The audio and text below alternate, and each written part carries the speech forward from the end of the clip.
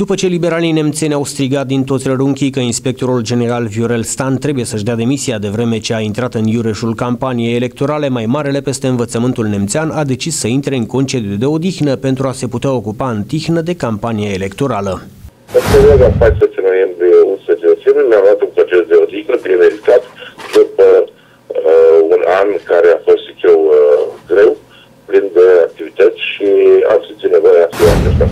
Viorel Stan se află pe locul 6 pe lista de candidați a Camerei Deputaților, loc în principiu aflat în zona neeligibilă, dar menit să tragă lista PSD. Timp de o lună, atribuțiile de inspector școlar general vor fi îndeplinite de profesoara Elena Laiu, inspector școlar general adjunct. Reamintil faptul că și primarul municipiului, Laurențiu Leureanu, care candidează pe locul al doilea tot la Camera Deputaților și-a luat concediu de odihnă de tip electoral pentru a închide gura slobodă a partidelor de opoziție.